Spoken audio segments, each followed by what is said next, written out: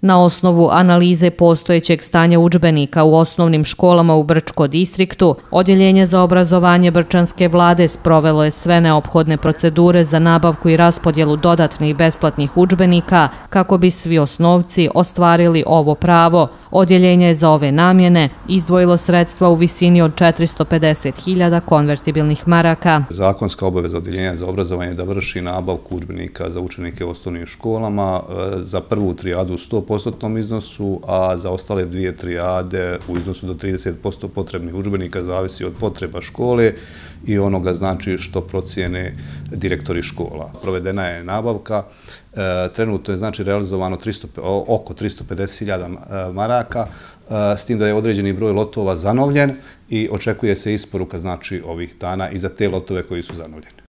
Šef pododjeljenja za zajedničke poslove u odjeljenju za obrazovanje Samir Čorbađić ističe da će distribucija učbenika po školama biti završena na vrijeme kako bi učenici već prvog dana nove školske godine imali sve potrebne učbenike na školskim klupama. Za lotove za koje je završena nabavka već je znači, e, isporuka izvršena po školama. Za dva lota koja su obnovljena znači isporuka ide e, do petka tako da će e, svi potrebni učbenici biti u školama do početka nastave.